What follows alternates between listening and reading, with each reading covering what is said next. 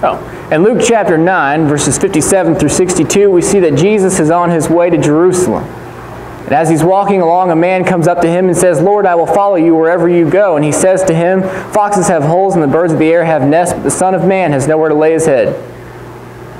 Another man came up to him and said, Lord, I will follow you wherever you go. But Jesus says, Have you considered what you have told me? And he talks about his family life and how he misses those uh, who are back in his home.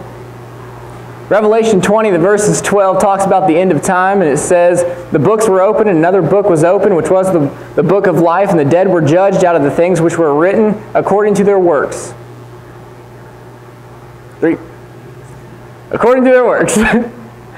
There's going to be a day when Jesus comes back, and the clouds are rolled back, and the, the trumpet sounds, and the dead in Christ will rise, and all of us will go before the throne room of God, and there will be two sides, the right and the left and they'll be separated according to their deeds. Are you a sheep or are you a goat this morning?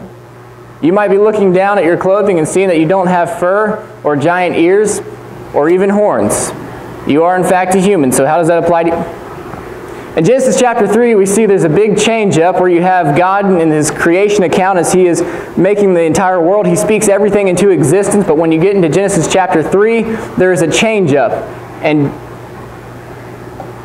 God begins to create man in his own image, and it's a, very intimate situation where you have God the Father, God the Son, and God the Holy Spirit all going in on this one project to create you and me. We're a little bit different than the rest of the animals, and you see that we were created in the likeness of God. That is, we have souls. We have uh, this part of us that will go on living forever. There's a little bit. Uh, okay.